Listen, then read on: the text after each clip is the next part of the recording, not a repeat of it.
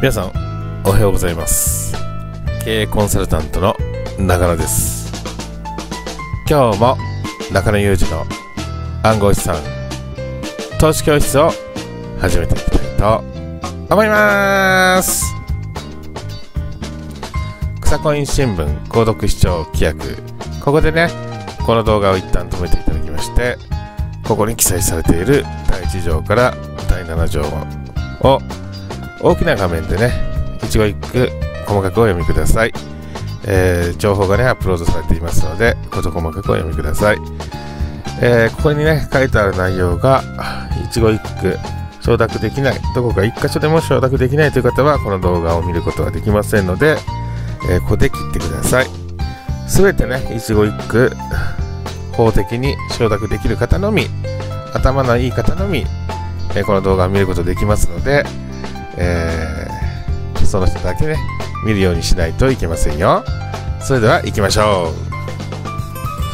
う。LINE に登録してくださいね。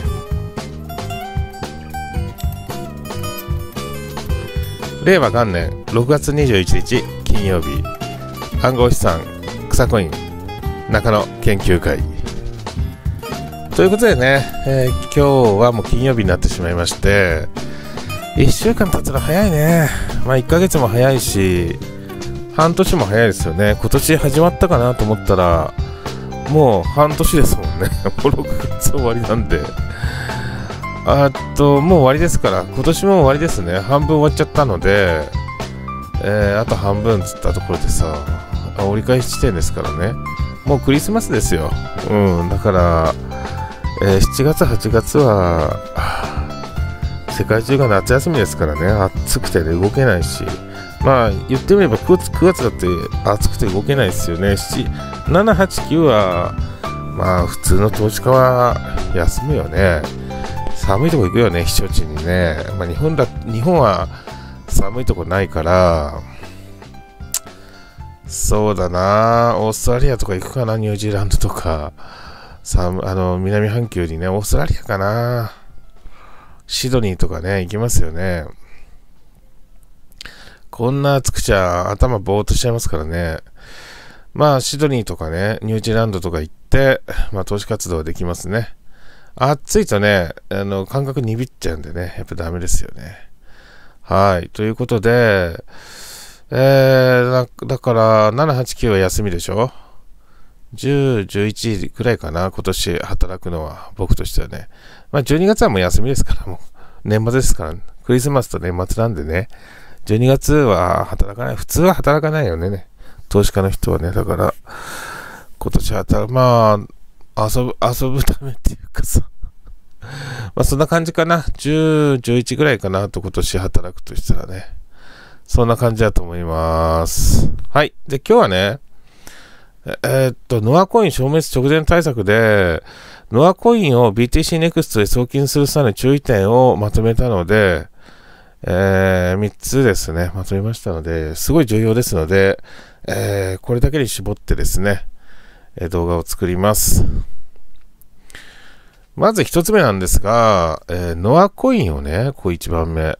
ノアコインを ICO で購入してですね、えー、単利福利で運用している方って結構いるでしょ？ノアコインを ICO で購入して売っちゃダメだよと。売っちゃうと、えー、ボーナスもらえないよつってね、わざと売らないようにさせて価格維持しようとしたんだけどね、ノアコイン発行会社がね、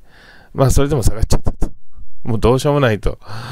えー、単利福利で運用している方は必ず配当ボーナス申請を行い、ボーナスを受け取ってから BTC ネクストへ、えー、送金しないとダメだと。まあこれ多分マイサボレットに入れて、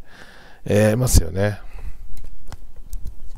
どういうことかというとですね、これもまあブログでですね、詳しく書いてくれてる人がいるんですけども、こちらですね。あの、ポックンの仮想通貨とマイニングのあれこれと。いうことでね、これ素晴らしい。なかなか内容いいですよ。えー、これはね、2019年の3月15日に書かれた、まあ、3ヶ月前に書かれたブログですけれども、2019年第1回目ノアコイン配当ボーナスの運用受け取り方、単利福利どっちにするということでね、あのエアドロップ開始と1回目配当エアドロップ開始ということでね。えー、配当が始まりまして、早速エアドロップしてみましたので解説しますと。いうことで、まあこういうページね、ICO の方、ICO でノアコイン買った方は、えー、こう、ああ、今いくら増えてんだなって毎日ノアコイン増えてるなって見るの楽しみにしてた方いると思います。で、これもですね、いよいよ、まあ、終わりに近づいてきたということでございまして、えー、複利運用の場合、えー、単利運用の場合、複利運用の場合ですね、それぞれ注意点がありますので、エアドロップ申請しないといけません。まあ、だからボーナス取得、ボーナス権利が失われちゃうのでね、えー、だからいろいろちょっと注意点がいっぱいあるわけですよ。で、メール送る、メールが、まあ、申請したら30分以内にメールに書かれている URL をクリックしないといけないと。そしてボーナス受け取り申請をしないといけないと。で、なんかごちゃごちゃいろいろ書かれてるので、まあいろいろやらなくて、これね、これメールの内容ですけれども、えー、で、ごちゃごちゃいろいろ書かれてますよということですね。それで、えボーナス、まあ、単利と複利でね、いろいろあるよと違うよと。それで、ボーナス受け取りを申請したらですね、ボーナスが実際にですね、マイサーウォレットにボコンと入るよと。いう時間はですね、なんと48時間以上かかりますよと、40ここね、申請メール承認完了から、承認完了からだからね、じゃあ申請メール承認されるのはいつかって話になるけど、48時間ほどで反映されるようですが、処理に時間がかかる場合もありますので、気長に待ちましょうということで、だいたいこれ1週間とかね、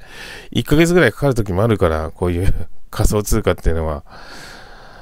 だから、あのー、まあ結局、ノアコインのさ、あの、マイニング業者がさ、マイニング処理をする、時間とかね、そのマイニング業者の数によって違いますしね、今回のように、ノアコインを一斉に8月31日までにね、えー、BTC ネクストに送金しなきゃいけないっていう、いあのーゲルマン人の、ま、大移動みたいなね、ことを一斉にやると、えー、ノアコイのマイニング業者がさ、アップアップになってしまって、マイニングオーバーになっちゃうわけね。そうするとまあ1ヶ月ぐらい、まあ配当金受け取れ受け取れないってこともあり得るから、だから、早めにやんなきゃいけないんじゃないの？これ。8月31日までに送金してねってことなんですが、うんまあ、送金自体はすぐにできますけどね、このボーナス受け取れないよという話になってしまいますから、まあ、あの、やっぱり今から対策はした方がいいかなと思いますよ。私はね。はい。あの、私はノアコインは、ICO では買ってないのでね、ヨービットで上場の後に買ったので、まあ別にスーッと送って終わっちゃったんですけどね。はい、続きまして、2番ね、マイサーウォレットとレジャーナの S を連携させてノアコインを保存している人は、まあ、昨日、あの、昨日というか2日前にね、私が池袋でですね、個人コンサルティングやって、まあ、できなかったと。で、翌日できたっていう話なんだけども、これはね、あの理由分かりました。なんでできなかったかね。えー、オペラブラウザをダウンロードして送金を行ってください。レジャーナの S は Google Chrome との相性が非常に悪く送金ができない場合がすごいあると。送金ができない場合があるというか、送金ができない場合の方が多いと99%ね。まあ、1%ぐらいの確率でできるんだけど、これどういうことかというとですね、まあこれちょっと知ってたんだけど、忘れてましたね。池袋のコンサルティングの時は。これレジャーなのですのですね、ホームページなんですけども、これを日本語に変換するとどうなってるかというと、これね、Chrome、まあ Google Chrome のブラウザでの U2F タイムアウト。最新版の Google Chrome は元帳ハードフまあ、眼鏡っていうかさ、これななんていうの？まあ、ハードウェアウォレットですよね。レジャーなのですよね。の U2F サポートを壊しました。このブラウザを実行しているユーザーは、マイサウレット、マイクリプトなどのウェブアプリでエラー通常は U2F タイムアウトが発生します。問題の特定に努めており、解決策が実行可能かどうか調査しますと、ということで、Google Chrome で動かないよってことなんだよね。あの、レジャーなのっていうのは。で、それ知ってたんだけど、忘れてました。で、これ Google Chrome ってこれね、いつも使って僕推奨してるけど、まあ、セキュリティあんまり良くないんだけどね、Google Chrome。で、まあ、こっちのインターネットエクスプローラーか Firefox のだったら動くのかもしれないけれども、推奨してるのが、この、ま、オペラかな。オペラがいいんじゃないですか？えー、オペラですね。で、オペラをダウンロードするの、オペラのダウンロードここにあるよと。いうことで、オペラをダウンロード、ああ、やっぱダウンロード、ダウンロードしなくていいから、俺はね。俺はしなくていいから。えー、だからオペラをダウンロードして使うということですね。で、オペラダウンロードして、えー、それでですね、えー、レジャーナの、まあ、マイサブレットを開くということになりますね。だから、あの、は、何それって話、よくわかんない人は、やっぱり早め早めにやらないと、やっぱり何にもできないんじゃないですかね。まあ、それでほら、マイサーウレットの使い方忘れちゃったっていう人もいっぱいいるでしょボタンを2つでカチカチカチカチやらなくちゃいけないから、それでこのね、昨日もちょっと見させていただきましたけれども、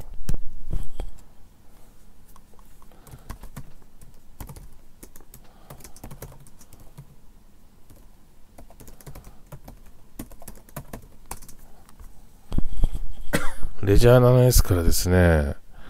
レジャー 7S から、えー、ノアコインを送金する方法を、まあ、この幸せな経済自由人かな？この幸せな経済的自由を目指すブログを書いてる人が、これ、これが結構良かったんですよね。レジャー 7S 送金方法ですね。で、これは、えー、こ ちゃんと書いてあるんでね。で、マイサーウォレットも新しいのと古いの両方、これ古い方で書いてあるんだけど、マイサーウォレットもさ、あの、新しくなっちゃったから、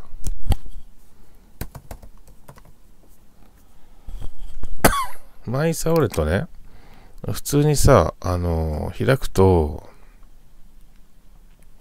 これか。ちょ、これ詐欺サイトに気をつけてくださいね。あのさ、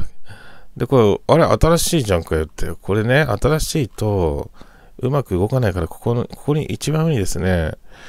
ヴィンテージ、まあ、古いやつが残ってるから、ここ一番上クリックしてくださいと。そうすると、皆さん見覚えのあるこの画面になるのでね。まあ、それで、センド、イーサトークンと押して、レジャーなどのウォレットを押して、ここで連携させるってことだよね。はい、ということですね。そして、えー、こういろいろ選んでいって、まあ、このブログないとほとんどできないよね、みんなね。だからこう幸せな経済的、まあ幸せなというか、レジャー 7S でのノアコイン送金方法を解説するよというふうに Google で検索すると出てくる。Google、まあオペラで検索してもいいですけどね。で、これを見ながらやるしかないよね。はい。やってくださいと。いや、本当に非常に厳しいものがあります。それでですね、えー、私の YouTube 動画の動画解説欄に、えー、見てですね、これ BTC Next ここですね。で、昨日とは違って、あの、ホームページがまた直ってると。で、ログイン登録ですね。ログインと登録2つが1つになっちゃってるんだけどね。で、これはログイン画面ですね。登録するとで、ここメンバーではありません。登録するとこれを押すと、まだなんかハテナとか変ですけど、これがですね、あの、新しく登録できるよと。ちょっと変だね、まだね。ちょっと English にしてみるということだね。ファーストネーム、ラストネームだね。E メールアドレス。パスワード、パスワードと。これが、あのーはい、新規、新規ユーザー登録ですね。で、こっちもう一回押すと、これは、登録、新規、あ、もうすでに登録したので、これは、ログインですね。はい、ちょっと 毎日変わってるんでね、ちょっと、これ自体も怪しいなということでございますね。だから早め早めにですね、あの、この BTC Next も講座解説しておかないと、まあ、ノアコイン、ノアコイン全部 なくなっちゃうよってことですね。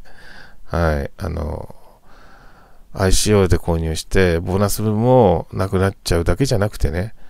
もともと購入したものも全部なくなっちゃうよというぐらい、結構またその仮想通貨特有のですね、イライラ感が出てきてるかなと、まあ思っております。はい。あと、3つ目ですね。ちょっと待って。はい。3つ目がですね、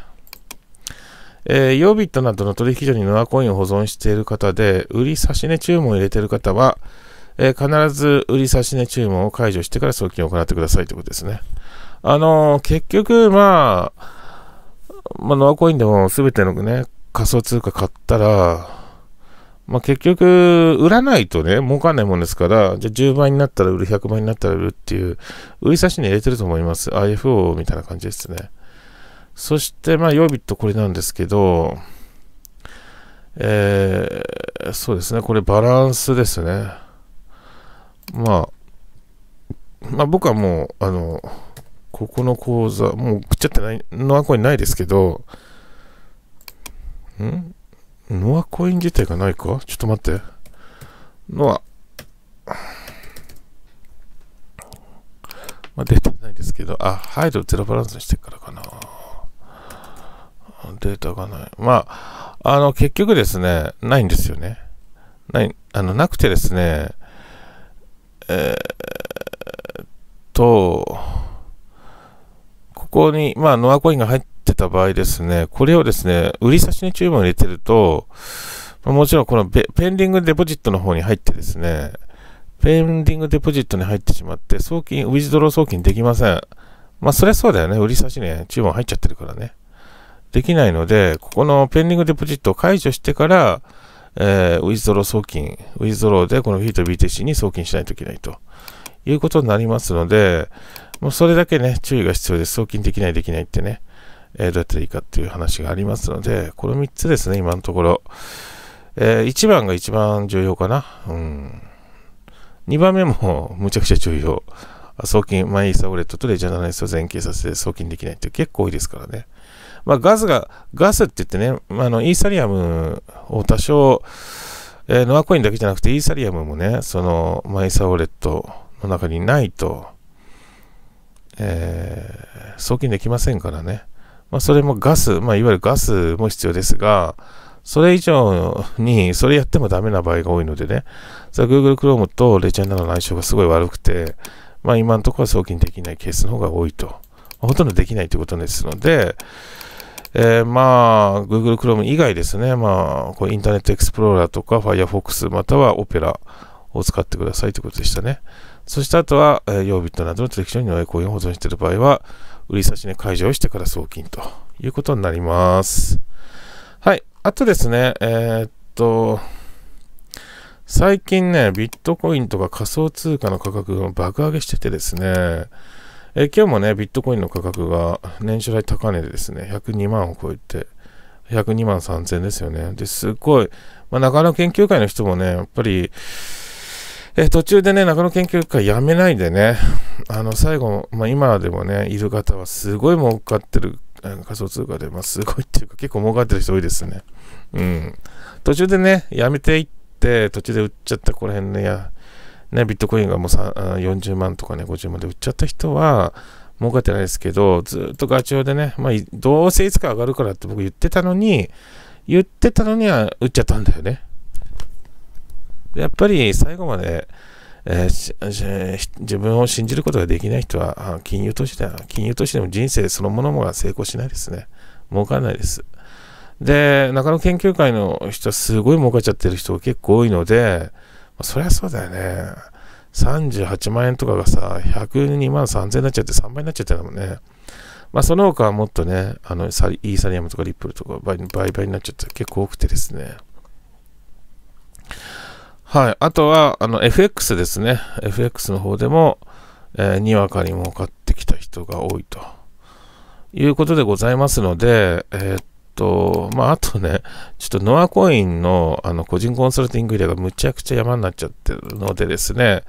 えー、まあ、あの前からね、1年前から言っておりました、1年前ぐらいから、半年ぐらい前から言っておりました通り、えっ、ー、と、7月1日からね、個人コンサルティング料金を、え、改定させていただきました。で詳しくはね、その YouTube 動画の動画解説欄に書いてありますが、7月1日から、えー、21,600円ですね。個人コンサルティング料金はね、2万1600円になりましたので、